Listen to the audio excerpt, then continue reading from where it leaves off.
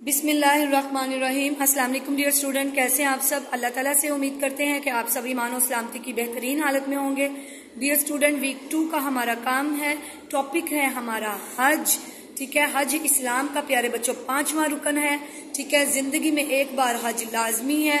हज हर उस साहब इस्तात पर फ़र्ज़ है, जिसके पास, यानी माल हो, पैसा, सेहत हो, उस पे हज साल में एक बार ही सही यानी ज़िंदगी में एक बार से ही लाजिम है। ठीक है बच्चों? अब हज के हवाले से कुछ क्वेश्चन है। ठीक है?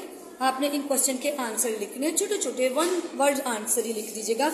इस लिबास को क्या कहा जाता है? ये बच्चे ने एक लिबास पहना है। इस लिबास को क्या कहा जाएगा? एहराम। क्या कहा जाएगा? एहराम। एहराम किस रंग का होता है? सफ़ेद रंग का।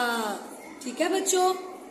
इसी तरह एहराम कब पहना जाता है? हज के मौका पर। ठीक है? इसी तरह हज किस महीने में अदा किया जाता है? नेक्स्ट क्वेश्चन ये कुछ क्वेश्चंस की डिटेल है, जो वन वर्ड आंसर आपने देनी है। ठीक है? हज किस महीने में अदा किया जाता है? हज जिल हज के महीने में। ठीक है?